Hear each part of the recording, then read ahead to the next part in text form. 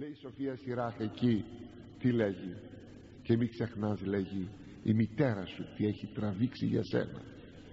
Ναι ποιος είπε ευχαριστώ; Αλλά δεν σας λέγουν τα παιδιά ευχαριστώ γιατί ίσως δεν είπατε και εσείς τη μάνα σας ευχαριστώ.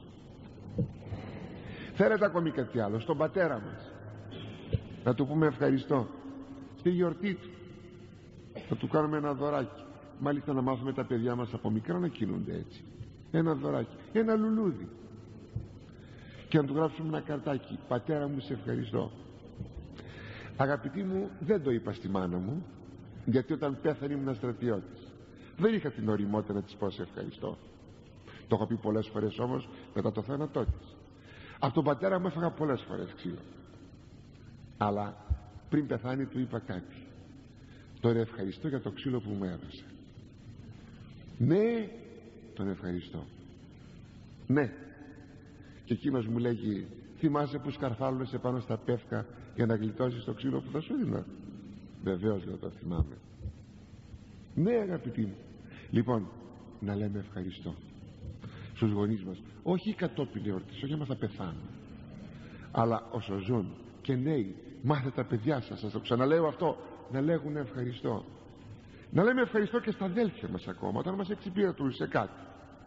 Σε οποιουσδήποτε στους διδασκάλους μας. Δεν θα το ξεχάσω ποτέ αγαπητοί μου αυτό. Είχαμε έναν σπουδαίο καθηγητή. Ήταν κατοχή αυτός ήταν πανεπιστημιακός. Όχι δηλαδή καθηγητής πανεπιστημίου πανεπιστημιακών ε, υπηρεσιών. Ήταν διευθυντής της πανεπιστημιακής λέσχης. Δεινός φιλόλογος ελληνιστής και λατινιστής. Αγαπητοί κάποια φορά μες στην κατοχή μας έκανε στο σχολείο στο γυμνάσιο μάθημα. Μας έκανε μάθημα του καλού καιρού. Πεινούσε ο άνθρωπος. Αλλά ήταν φιλότιμος και μας έκανε μάθημα του καλού καιρού. Κάποια φορά ήταν η τελευταία μέρα που θα φεύγαμε από την τάξη. Χτύπησε το κουδούνι. Εκείνος την ώρα που χτύπησε το κουδούνι βρέθηκε κοντά στην πόρτα της αιθούσης κρατούσε κρατούσε τον Πλάτωνα κάναμε Πλάτωνα. Το κρατούσε ανοιχτό το βιβλίο. Σαν κανίβαλοι πηδήξαμε από τα θρανία μας και βγήκαμε έξω. Ήμουν από τους τελευταίους. Αισθάνθηκα την ανάγκη να του, πω, να του πω κύριε καθηγητά σας ευχαριστούμε πολύ. Ντράπηκα και δεν του το είπα και βγήκα και εγώ σαν και από τους άλλους μαθητάς μου. Παρεπονέθη ούτε ένα ευχαριστώ δεν είπαν. Εκείνος έδινε όλο το αίμα του έδινε σας είπα πεινούσαμε και μας έκανε μάθημα του καλού καιρού και όμως δεν το είπαμε να ευχαριστώ.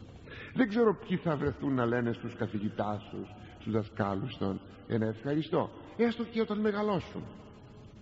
Να συναντήσουν το δάσκαλό τους στο δρόμο το καθηγητή τους και να του πούνε κύριε καθηγητά ή κύριε διδάσκαλε ξέρω εγώ κύριε Τάδε πόσο μας βοηθήσατε πόσο μας βοηθήσατε θυμόμαστε εκείνα που μας είπατε δώσατε την καρδιά σας και το αίμα σας για μας δεν ξέρω αν το κάνουμε αυτό.